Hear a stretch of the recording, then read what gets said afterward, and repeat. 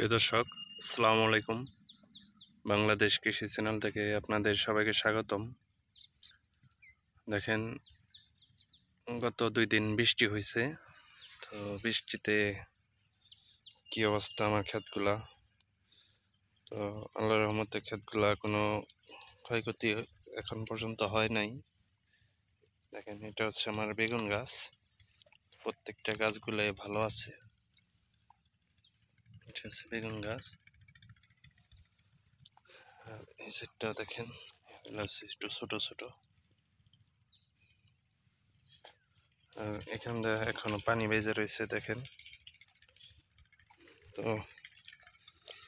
এই হচ্ছে আমার প্রজেক্ট ছোট্ট একটা প্রজেক্ট আর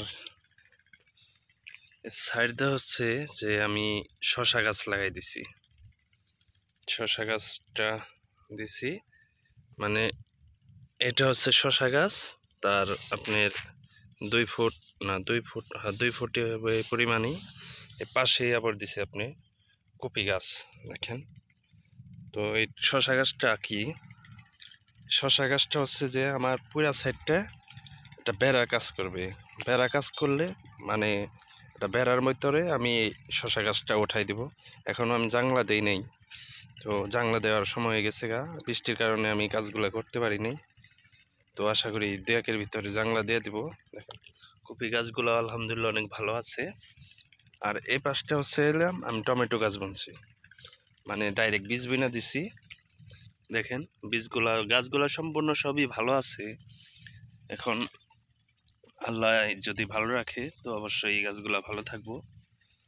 আর যারা আমাদের ভিডিওটা দেখছেন, অবশ্যই আমাদের ভিডিওটা সাবস্ক্রাইব করবেন চ্যানেলটা।